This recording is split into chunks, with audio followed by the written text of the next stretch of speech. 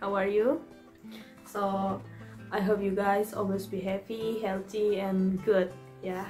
And first of all, I just want to say thank you very much for you who clicking this video.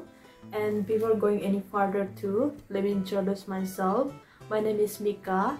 I am a third semester student from English Study Department at University of Kapuas Sintang and I am 20 years old. Ooh, okay.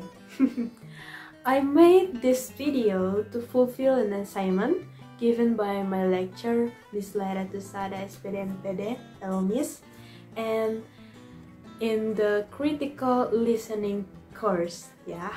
So, I just listened to Selena Gomez's speech about trust yourself First of all, I just want to say wow for that speech. Yeah, Selena Gomez, she's so beautiful, of course, young and very creative. To be honest, she's one of my idols because I really love her songs. And in that speech, Selena Gomez talked about how she struggled to be herself and learn how to believe in herself. One thing that I want to say, it's not easy, of course. It's hard to do. And we know that when we want to do something and be who we want to be, a lot of people will comment. Yeah, we don't know, maybe it's the positive comments or negative comments, whatever, but we know everyone will comment everything that we will, that we will do in our life. And to be honest it's really yeah just really really annoying. I know that.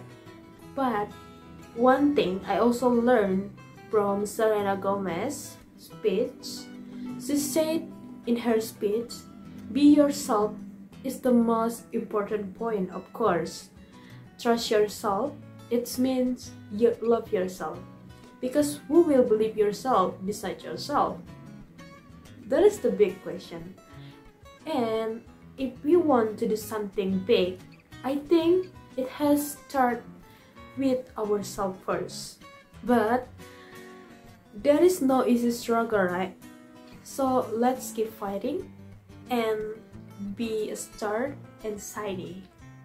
So I think that is all from me. Thank you very much for watching. And for the last word, I just want to say life is not easy. Keep up the spirit and smile. No effort will be worse. Believe in yourself and especially in your God. So that's all from me. God bless you guys. Bye.